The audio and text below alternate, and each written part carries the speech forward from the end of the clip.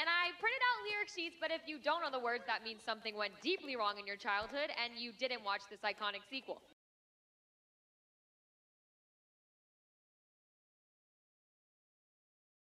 Let's take some grounding breaths. And we're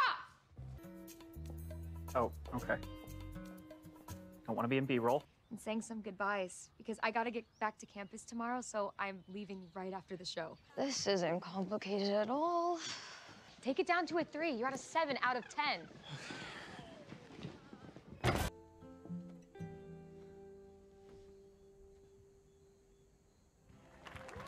Honestly, enjoy high school while you can.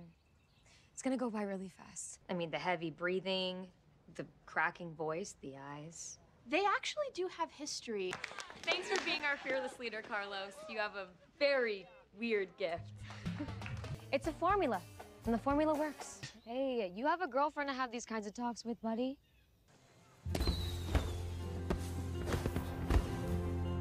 Hey, uh, can I interrupt for like two seconds? I'm sorry. Hey everyone, I'm Val. And not too long ago, I was just like you, waiting in the wings for my chance at stardom. Then I went to college, and my dreams of Broadway were instantly dashed by my intro to movement professor, who said I wasn't convincing as a human being. wow. But now I'm a psych major, and I'm also your choreographer. The director will kick off the auditions in just a moment. Guys, we lost Jet. My male boyfriend.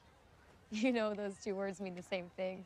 If you ask me, I'd say he's clearly genuinely heartsick. Maddox isn't the only one who appreciates camp traditions. What happened to Nini? Shy girl from last summer, weird British accent when she's nervous. It's been a long year, Val. You're good people. Can I help you?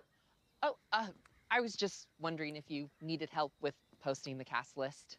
With posting the cast list? Um, I actually was gonna sleep on it before making any final decisions. How are you so strong? I'm interested in what lies beneath the surface of us all. Can I be Team Gina on this?